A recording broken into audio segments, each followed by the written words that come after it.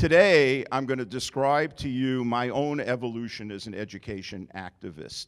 Today, a lot of people know me from my postings about education policy issues in Facebook, from my blog with a Brooklyn accent, and by the new organization I founded four months ago, the Badass Teachers Association, which now has 31,000 members of all angry teachers.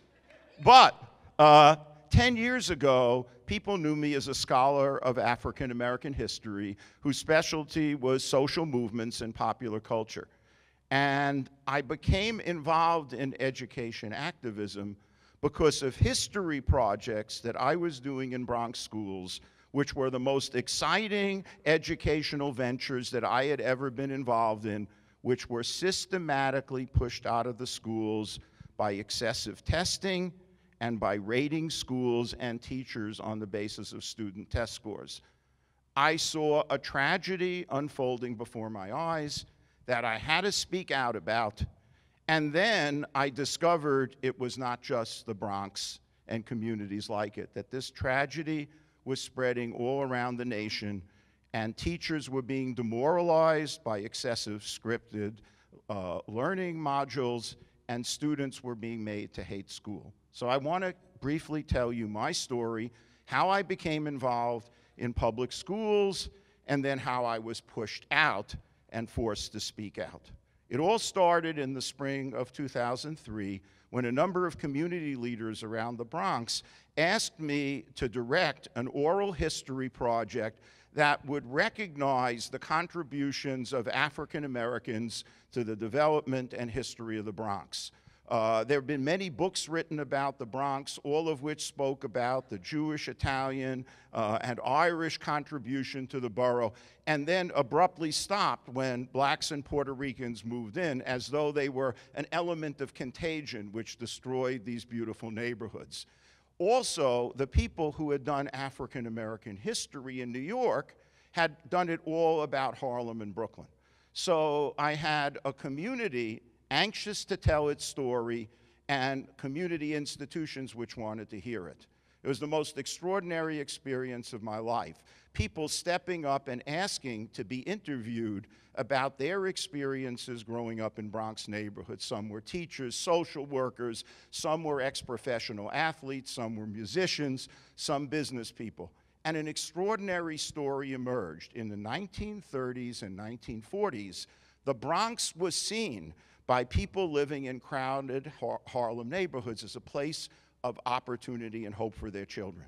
Uh, a place where they could find better schools, better shopping, bigger apartments, less crowded streets. And there were three parallel migrations, one of African Americans, the other of West Indians, the other of Puerto Ricans.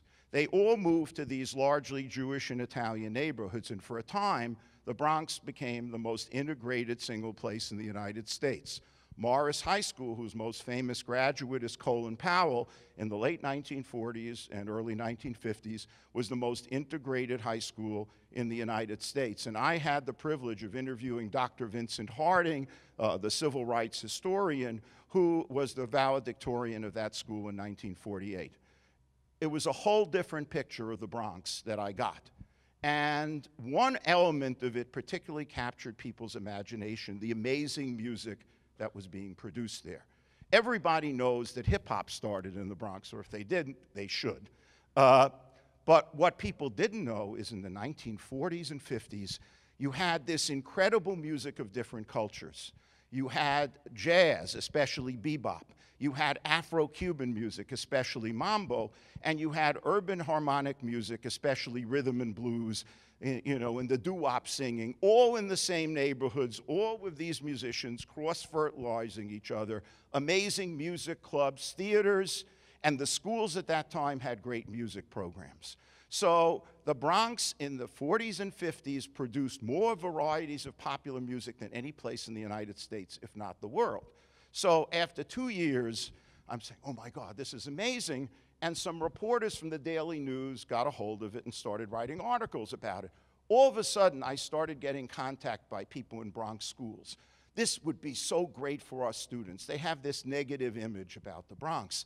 So I started first giving lectures to social studies teachers. Uh, then I started doing musical tours of Bronx neighborhoods, playing all the music, some in vans, some with my boombox. Um, and then they started inviting me into the schools themselves to give talks. Now, this changed my life because it's one thing to talk to the teachers, it's another thing to talk to the students. Imagine me the old white guy coming into a Bronx high school. So I discovered if I started rapping, they would listen to other things. So some of you may know the song The Message. I started doing this. Rats in the front porch, roaches in the back, junkies in the alley with a baseball bat. I tried to get away, but I couldn't get far because a man in a tow truck repossessed my car. Don't push me because I'm close. They looked at me. This is the craziest thing I've ever seen. So I started getting invited to rapid graduations. Uh, you know, I mean, and they, they gave me the name, Notorious PhD. And then the most amazing thing happened. I got invited to train the staffs of 13 different schools to do community history projects over a period of two months. It, the teachers, the principals, the lunch ladies, the security guards, and the kids all embraced this. It was the most amazing experience of my life in these 13 schools. Uh, they ended up producing films, dance festivals, plays, food festivals, uh, photo exhibits, exhibits of material culture where they brought their tickets of their grandparents when they flew or took the boat over, platform shoes from the 70s. Any of you still have them? You know, uh, old record players, the most amazing experience of my life. And one school, PS 140, which is in the Morrisania section of the Bronx, the poorest section of the Bronx, they actually created an old school museum devoted to the historical traditions of the neighborhood. These teachers and principals and parents and kids went so far beyond what I had ever imagined could be done with my historical research. I don't know if any of you are historians, but we're used to boring people no, or, or be only being read. The idea that thousands and tens of thousands of people are taking what I was doing and transferring it into lived experience that brought communities together. Most amazing experience of my life. And this is in 2006. One of the things that happened is I was the uh, chair of the arrangements committee of the uh, American Historical Association, uh, of the Organization of American Historians, I actually had a group from PS 140 perform an old school jam at their convention. It was the only thing that got into the New York Times. So this is like the best experience of my life, and within two years, shut down. Why? Because in 2007, New York City Department of Education uh, decided that it was going to give letter grades to schools largely based on student test scores. And as a prelude to deciding which schools needed to be closed and which principals needed to be pushed out. Now, that's a questionable concept to begin with, but when the ratings are wildly inaccurate, that's even worse. My wife is in elementary school at PS 321 in Brooklyn, which is widely considered one of the top two, three best elementary schools uh, in the city. They got a grade of B. But PS 140 in the Bronx, the best inner city school I had ever seen, got a grade of C. What? I went nuts. But it kept getting worse because what happened was after the letter grades, these were all published in the paper. The city began closing schools with low grades, firing half the staff, uh, and ending up in what they call the rubber room, and replacing them with either new public schools or charter schools. And what began to happen was the demonization and demoralization of some of the best teachers I had ever met in my life. Most of the teachers in the Bronx schools came from working class families. Many were black and Latino. Many had grown up in the same neighborhoods that they were teaching in. Almost all were women. And they were attacked regularly in the press as holding back uh, the country's economic competitiveness, as being responsible for education inequities And I couldn't stand seeing those wonderful people attacked. So I wrote an article Uh, on my blog called In Defense of Public School Teachers, explaining that experience. It went viral all over the country. Somehow, through the internet, it got around. Teachers contacted me and told me I had to speak out. So I began talking about education issues with more and more information. I spoke three times in Washington, first at the Save Our Schools March, then at two organizations by a group called United Opt Out. And the more I found out, the more horrified I was. Some of the things I started to see were not just happening in the Bronx, they were happening all over the country. So here's what started to happen in the Bronx.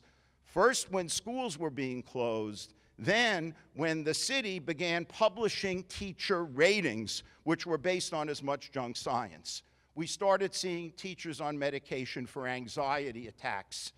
And we started seeing schools so panicked about what was going on that in a place with the highest obesity rates in the country, they were canceling gym and recess for test prep. So this to me was child abuse. Now, I thought it was just the Bronx, but I became, in, there was a huge test revolt in New York State uh, last April because of the they uh, had Common Core aligned tests that were so difficult that huge numbers of students felt humiliated.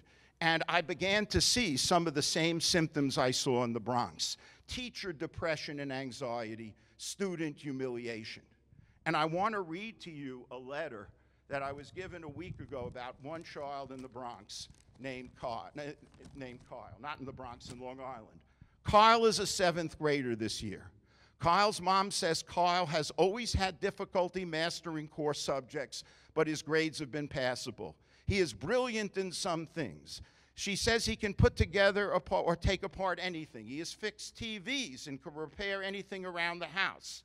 At school, while his grades remained mediocre in core subjects, he excelled in band and tech. The only way he could get Kyle to come to school was because of band and tech. Well, this past September, the school advised Kyle's mom that because Kyle did so poorly on the assessments he is mandated to, attend, double periods of math and English, they took the place of band and tech. Kyle's mom called me crying, not knowing to do, because now Kyle is refusing to go to school.